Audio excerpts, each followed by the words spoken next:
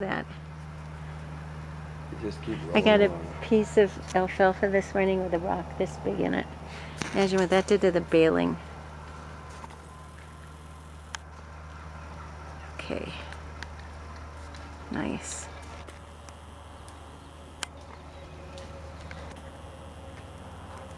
Nice. Good. Okay, Now- that was good. Now